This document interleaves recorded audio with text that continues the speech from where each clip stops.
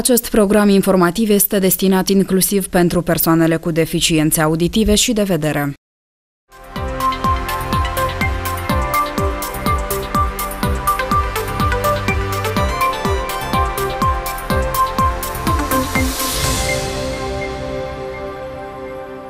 Doamnelor și domnilor, bun găsit la știri! O seară de chef între doi amici s-a finalizat tragic. Un bărbat de 46 de ani din raionul Nisporeni a decedat după ce a fost bătut crunt de amicul de pahar. Potrivit oamenilor legii, cei doi au mers în ospeție la sora agresorului, care locuiește în satul Zberoaia, unde au servit băuturi alcoolice. Ulterior, între ei s-a iscat un conflict. Suspectul ar fi bătut pe bărbat cu mâinile și picioarele. În urma loviturilor primite, victima a decedat până la venirea ambulanței. La moment, la faza de urmărire penală se află o cauză penală în, uh, pe fapte recente de omor. Este vorba de omorul din data de 13 iulie 2020 comis în satul uh, Zberoaia, raionul Sporeni. Cauza penală este investigată de către secția urmărire penală a Inspectoratului de Poliție Nesporeni sub conducerea uh, Procuraturii raionului Nesporeni. La moment, uh, făptuitorul este identificat, acesta a fost reținut și ulterior pus pe învinuire. Motivele omorului ar fi răzbunarea față de victimă pentru o pretinsă faptă de furt anterior cu o seară se pretinde, uh, uh, învinuitul afirmă că a fost, uh, i-a fost sustras de către partea vătamată o sumă de bani, fapt care a determinat acțiunile agresive acestea. Învinuitul care este originar din comuna Ciorești a mai fost anterior certat cu legea. Acesta a fost privat de libertate timp de 13 ani și a fost eliberat din penitenciar în anul 2018. Învinuitul la moment pe cauza penală se află în stare de recidivă, acesta fiind eliberat din locurile de detenție în anul 2018, fiind încarcerat în 2005. Este în termenul de antecedent penal. Însă, reiterez, acesta beneficiază de prezumție de nevinovăție. Potrivit procurorilor din Isporeni, suspectul și-a recunoscut vinovăția. Acesta a fost plasat în arest pentru 30 de zile și este cercetat penal pentru omor care, conform legislației penale în vigoare, se pedepsește cu închisoare pe un termen de la 10 la 15 ani. În privința învinuitului a fost aplicată măsura preventiv, arestul preventiv pe o perioadă de 30 de zile de către instanța de judecată, judecătorul de instrucție, la moment se efectuează acțiuni de urmărire penală în vederea acumulării materialului probator suficient pentru a remite cauza penală în judecată. Menționez că la moment învinuitul beneficiază de prezumția nevinovăției până când vina acestuia nu va fi dovedită într-un proces echitabil și nu va fi stabilită de către instanța de judecată. Precizăm că bărbatul omorât a fost și el anterior judecat pentru comiterea de infracțiuni.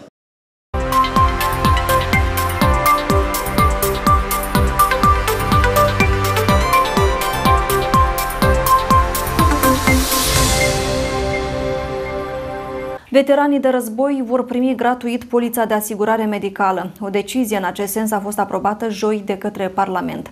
Astfel, deputații au votat în lectura finală un proiect de lege pentru modificarea legii cu privire la asigurarea obligatorie de asistență medicală și a legii cu privire la protecția socială suplimentară a unor categorii de populație.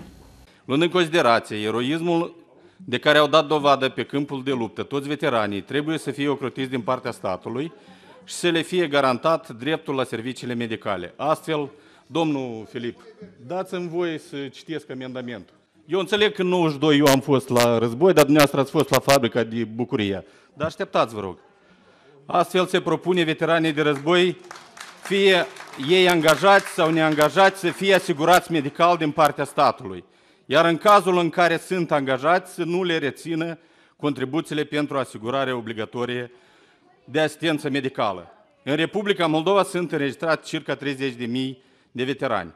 Stimați colegi, cine este pentru a fi aprobat amendamentul la proiectul legii 105 enunțat dat citire de către domnul Bătcă, rog să votați.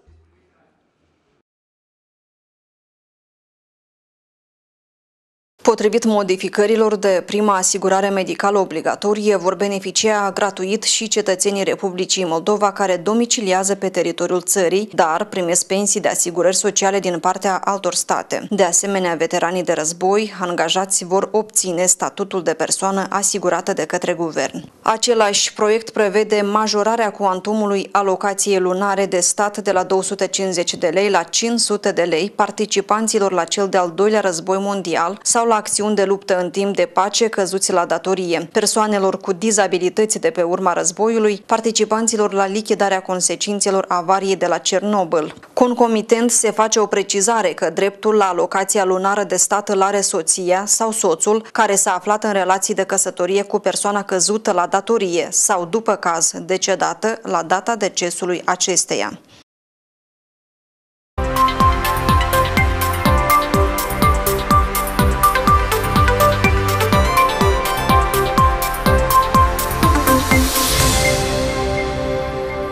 Moldoveancă și patru copii ai săi au fost repatriați din Siria. Despre aceasta a anunțat Serviciul de Informații și Securitate, care precizează că cetățenii noștri au fost deținuți, începând cu anul 2019, într-o tabără pentru refugiați din cauza confruntărilor militare din Siria. Femeia și cei patru copii ai săi au fost întâmpinați de către șeful statului Igor Dodon la aeroportul internațional Chișinău. Я не была уверена, что я уже навсегда.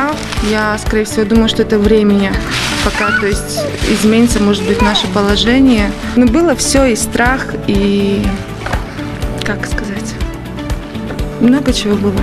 И трудности, и страх, и переживания, и скучание. Все эмоции, которые возможны испытать, мы, мы испытали. Femeia și cei patru copii ai săi au fost întâmpinați de către șeful statului Igor Dodon, dar și de către mama acesteia la aeroportul internațional Chișinău. Mama femeii repatriate cu greu și-a stăpânit emoțiile de bucurie că în sfârșit poate să fie alături de fica sa și de nepoți. Благодарна тем людям, которые за полтора года были всегда со мной 24 часа в сутки, были на связи. Какие-то вопросы, какие-то не знаю, дети болели, я звонила, они там Красный Крест там подходили, все. Я благодарна очень всем. Я самая счастливая бабушка на свете сейчас. Смотрите, какая я богатая. Potrivit Serviciului de Informații și Securitate, persoana repatriată a locuit și a lucrat în municipiul Chișinău împreună cu soțul său de origine siriană până în anul 2013, când au decis să se transfere cu traiul permanent în provincia Aleppo. La sfârșitul anului 2017, în urma acțiunilor militare din Siria, soțul acesteia a fost ucis. Astfel, în luna ianuarie 2019, moldoveanca și cei patru copii ai săi au ajuns în tabăra Olhaul, în care aveau condiții de trai extrem de dificile. Este deja al doilea caz când serviciile speciale ale Republicii Moldova, în colaborare cu colegii din Turcia, reușesc să desfășoare astfel de operațiune de salvare, prima fiind cea realizată în decembrie 2019, când a fost repatriată din Siria o altă familie originară din Republica Moldova.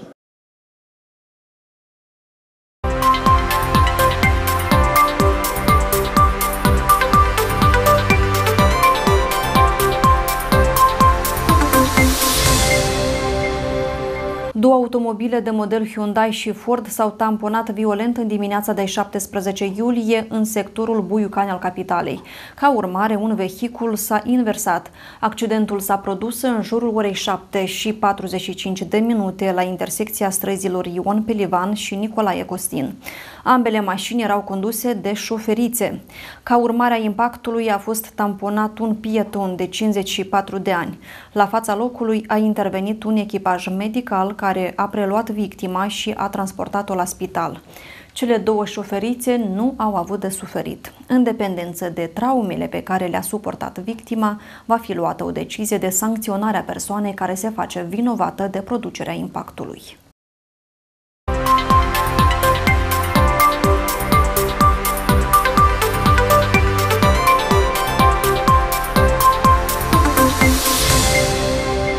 Pe câmpurile din raionul Drughia, de asemenea, lucrează combinele mânate de fermieri care se grăbesc să adune pâinea la timp. Dat fiind faptul că în această perioadă temperaturile sunt înalte, angajații secției situații excepționale Drochia verifică respectarea regulilor antincendiare de către agricultori într-o prevenire a necazurilor. Astfel, muncitorii au fost instruiți, iar tehnica agricolă a fost verificată. De către angajații secției situații excepționale Drochia au fost petrecute instructajul la agenții economici care sunt implicați în campanie de recoltare, au fost adusă la cunoștință reguli de apărare împotriva incendiilor. În marea majoritate, toți mecanizatorii sunt pregătiți de recoltare, dispun de stingătoare, de tehnică în caz de intervenție. Mecanizatorii pregătesc mașinile în prealabil pentru perioada de recoltare, astfel încât în timpul lucrărilor agricole să nu întâmpine dificultăți, țin cont și de măsurile de prevenție a incendiilor, fiind echipați corespunzător. Strângem 20 de hectare, pus uh, fâșii de între... Combina este dotată cu stingătoare, două stingătoare, la tractor tot avem stingătoare, în capul acela este boșca cu apă, stă tractorul. Păzăm, strângem tot să nu avem probleme, incendiile și cu toate. Mai mult ca atât, condițiile de lucru sunt destul de bune și permit îndeplinirea lucrărilor agricole de calitate cu confort, susține unul din mecanizatori. Aici este sistemul de condiționare este, care lucrează și ușurează lucrul, nu trebuie să în col, nu trebuie să te șezi în sufocarea căldurii. E foarte, foarte comod de lucrat pe așa combine. Eu sunt mulțumit. Dar dacă vorbim despre roada de greu 2020, aici prognoza este tristă. Dacă în anii precedenți recolta per hectar a constituit în jur de 6 tone, acum această cifră este de aproape 3 ori mai mică. Strângem puțin, cheltuielile au fost mari și îl depozităm, așteptăm prețuri cu mai bune, măcar să ieșim anul ăsta cap în cap, să nu ne ducem în minus. Anul ăsta nu așteptăm venit. În agricultură venit noi. Ne rugăm la Dumnezeu să, să strângem pâinea, să mai dea ploaie la acele între recolte, la grupa a doua, să avem, măcar să ieșim cheltuielile. Campania de instruire a agricultorilor se desfășoară anual de către angajații secției situații excepționale cu scopul de a preveni incendiile în lanurile cu culturile agricole. Victoria Conea, Roman Goncearuc, TV Drochia.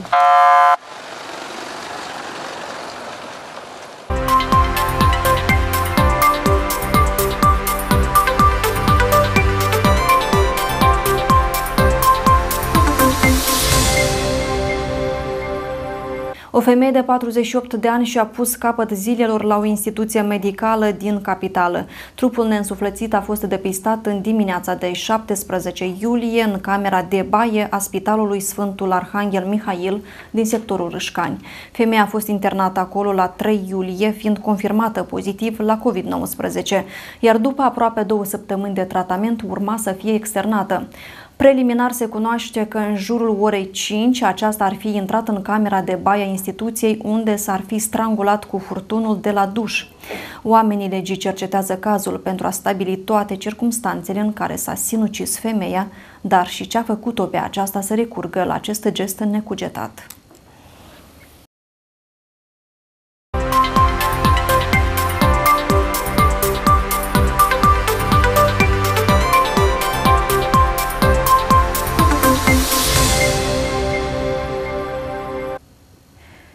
Cinci gherete cu produse alimentare au luat foc în piața centrală din Chișinău. Potrivit salvatorilor, apelul la serviciul 112 a fost recepționat după miezul nopții. La fața locului pentru stingerea incendiului au intervenit trei echipaje de salvatori și pompieri. Aceștia au luptat cu flăcările câteva ore și au oprit răspândirea arderii către alte obiective. În urma incendiului nimeni nu a avut de suferit, însă focul a afectat suprafața de 30 de metri pătrați, dar și bunurile materiale materiale din interiorul gheretelor. Circumstanțele și cauza incendiului urmează a fi stabilite de Laboratorul Experimental Antiincendiar. Potrivit Inspectoratului General pentru Situații de Urgență, în ultimile 24 de ore, salvatorii și pompierii au intervenit în peste 30 de situații de risc.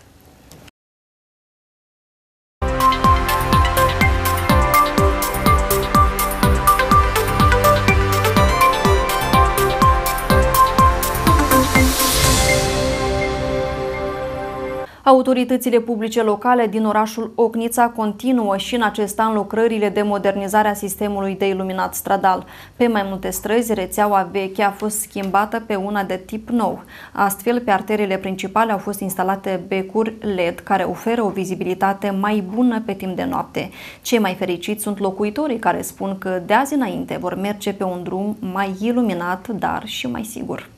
Locuitorii orașului Ocnița se mândresc cu un sistem de iluminare modern. Autoritățile spun că proiectul asigură locuitorii orașului o viață mai sigură, iar printre avantajele proiectului dat sunt și economiile în bugetul local. Toate beneficiile sunt grație implementării unui proiect european pentru energie durabilă. Cu banii europeni în oraș s-a achiziționat corpuri de iluminat cu un consum eficient de energie prin alegerea lămpilor de tip LED. Au fost schimbate rețele de cablu și au fost instalate sisteme inteligente de monitorizare și gestionare la distanță bani. Deci noi am, am implementat proiectul cu 530 de lei. Это la moment am fost în oraș. Noi, de fapt, am plătit la 400 mii de dolari. Deci 1 milion 600 de mii ei nu le-au dat degeaba. Contribuția noastră a fost 20%. 400 de mii noi le-am strâns și am dat. Noi am strâns undeva vreo 130 de mii de la agenții economici, de la oameni, de la fizici, de la așa, de la așa, dar restul noi am pus din buget bani. Primarul de Ocnița Victor Artamaniuc afirmă că acest proiect european a fost o adevărată surpriză pentru localitate, iar sistemul modern de iluminare stradală instalat acum poate fi gestionat de la distanță datorită tehnologiilor performante cu ajutorul aplicațiilor instalate în telefon sau în calculator. Da, este om angajat, dar toate asta se face automatizat. România controlează sistema de uh, pornire și de oprire a medirii pe durata zilei și te aprinde seara, cum regulăm noi. Noi dăm de pildă mult să aprind la ora 10, da? Da. Și până la ora 5, da? La 5 se vede, noi regulăm, la 4 jumătate și așa mai departe. Aici este un om care regulează automatizat, cu telefonul, și de acasă regulează toate punctele.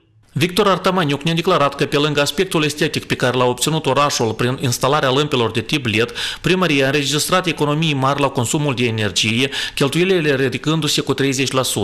Primarul spune că și locuitorii urbii sunt în siguranță acum, iar odată cu instalarea sistemului de iluminare stradală, a scăzut și numărul infracțiunilor înregistrate în timpul nopții. Dacă ocnițienii au soluționat problema iluminatului stradal, atunci în orașul Glodeni mai mult de jumătate din oraș este neiluminat. Recent, în cadrul ședinței Consiliului Consiliului Orășenesc, primara de Glodien Stella Onuț a venit cu un proiect de iluminare a parcului care costă peste 400 mii lei. O parte din consilieri au fost împotriva acestui proiect, deoarece l-a considerat prea scump.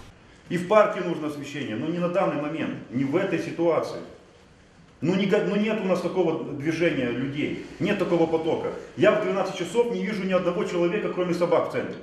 Кроме собак, которые лежат под этими лампами. Я не вижу там людей. Для кого мы это делаем в парке? В совхозе, в совхозе. Олег, вы живете в совхозе, вы знаете прекрасно. Там освещения нет. Там освещения нет. Давайте сделаем там это освещение, а потом перейдем в парк. După mai multe dezbateri, proiectul a fost susținut cu sprijinul majorității consilierilor aleși. Potrivit unui articol din ziarul de gardă, primara orașului Glodien, Stella Onuță, a spus că în 2019 această cifră a crescut până la 40%. Din spusele ei, primăria extinde rețeaua iluminatului public din resurse proprii. Singura sursă de finanțare pe care au avut-o au fost dintr-o donație din anul 2015, prin care localitatea a promit lămpi și cablu, iar primăria a investit în efectuarea lucrărilor. Astfel, potrivit raportului prezentat stat, în cadrul ședinței Consiliului Local, au fost extins iluminatul stratal pe străzile Mitropolitov Varlam, Strada Tineretului și Vasilia Zgârcea în sumă de 235.000 lei. Primara afirmă că a încercat în repetate rânduri să acceseze fonduri, să de fiecare dată i s-a spus că fondurile disponibile au fost alocate și că nu există resurse financiare. În încercarea de a afla care este situația actuală a orașului Glodeni, primara de Glodeni a refuzat să ne ofere un interviu despre subiectul iluminării orașului.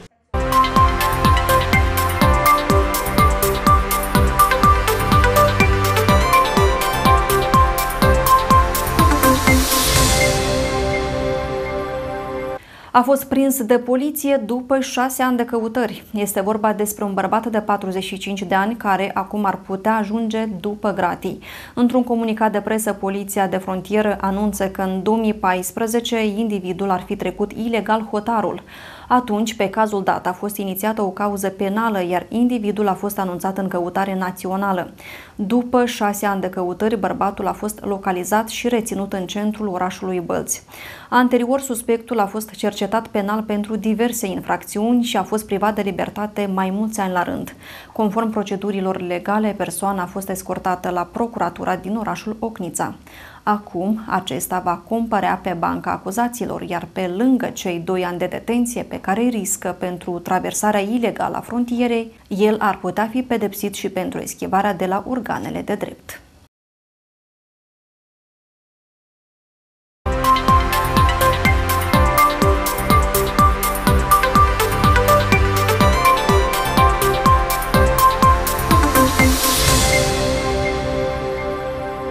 Vis împlinit pentru creștinii satului Niorcan din raionul Soroca. După ani buni de așteptări, în sfârșit au o biserică în localitate amenajată frumos. Singurul lucru care mai lipsea erau clopotele. Oamenii au pus mână de la mână și au procurat un set de clopote care au fost sfințite.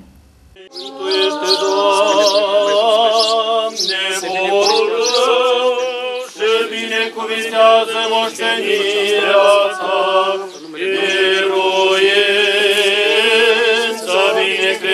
credincioșilor creștini, asupra celor protini dăruiește, ce cu crucea ta păzește,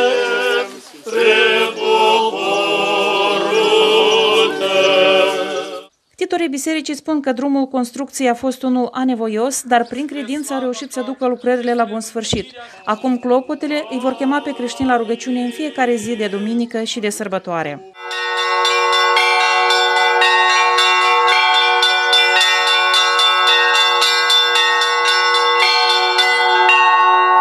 Împreună cu satul s-au strâns toți oamenii care din sat, care cât au putut. Noi am fost și le-am adus, noi am, le-am, le-am ales. Am făcut un lucru care se șibă ca un lucru istoric pentru, pentru toți care sunt. Au fost multe încercări de a face biserica, dar nu s-au, nu s-au primit. Și că, într-adevăr, cu ajutorul la, la tot satul și Astăzi avem o biserică în sat. Satul, dacă nu are o biserică, un locaș sfânt, acela nici nu se numește ca, ca sat. Și că, într-adevăr, azi, azi avem unde, un locaș unde avem să ne ruga să, să petrecem toate sărbătorile și ceremoniile care, care se fac la, la biserică. Creștinii sunt foarte mulțumiți ca un locaș de închinare, pentru că au trecut vremuri grele, când erau nevoiți să facă cale lungă pentru a ajunge la biserica din satul vecin. Să fim mândri cu toți și eu împreună cu sătenii de această biserică, pentru că avem nevoie de credință, de sinceritate și de deschidere în aceste timpuri grele îndeosebi. Mulțumesc tuturor celor care s-au implicat și îndeosebi preotului Mihail, care îl cunosc deja de aproape de jumate de sfert de veac și l-am întâlnit în viața mea, cunoscându-l ca un om cu suflet mare și întotdeauna a știut să cultive dragostea față de credință creștinilor. Mulțumim mult părintele Mihail și a făcut și cu ajutorul Domnului, a făcut așa biserică. Nu a fost tare greu, ne ducem în alte sate, rugăm la Dumnezeu de sănătate, de bucurie, la familie, la tot. Amu venim aici cu tot și avem pe suflet și ghine și rău. Pentru sănătate pentru voi bun în casă, să o bucurie de la copii, de la părinți, de să ne rugăm Domnul și pace în lume și liniștea asta și boala asta să dispară. Mână de la mână am pus și ne ajutat Dumnezeu și ne bucurăm că avem așa o biserică frumoasă și un părinte și matșca și ne mândrim cu așa biserică. E de menționat faptul că biserica din satul Norcani a fost construită la inițiativa preotului paroh Mihail Sârbu. Episcopul Sorocii, preasfințitul Ioan, a remarcat activitatea prodigioasă a părintelui și a mulțumit pentru munca depusă. Întotdeauna am apreciat strădania și munca asiduă depusă de părintele Mihail. Părintele Mihail este paroh al mai multor biserici din această latură a raionului nostru Soroca și izbutește în fiecare sat să priminească Sfântul locaș de închinare. Părinte, vă mulțumim pentru munca depusă, vă mulțumim pentru activitatea pastoral-misionară ce o desfășurați de mai bine de două decenii. Vă mulțumesc la toți că ați încălzit astăzi rugăciunea cu inimile voastre, fiind părtași vii ai sfințirii acestor set de clopote, adunați totuși din sudoarea dumneavoastră, ani de ani, strânși picătură cu picătură, până am ajuns la acea desăvârșire, când de acum putem finaliza această operațiune. Aș vrea ca aceste clopute să vă reprezinte dragostea fiecăruia dintre dumneavoastră față de cel de sus. Aș vrea ca aceste clopte să fie o finalitate a procesului de edificare a acestei biserici, a acestui locaș sfânt, care este prin prin uh, răspunderea mea de la prima piatră până la ultima etapă aceste clopti, uh, trecute prin toate și bune și rele, eu uh, prefer de a vă ruga ca în zilele acestea solemne să ne amintim numai de cele bune. Piatra de temelie a Bisericii Sfinții Arhanghel Mihail și Gavril din satul Niorcane a fost pusă în anul 2008 și doar în 5 ani biserica a fost construită și amenajată. Perioada scurtă în care s-a zidit locașul sfânt denotă credința și marea dragoste pentru Dumnezeu pe care o au oamenii din acest sat.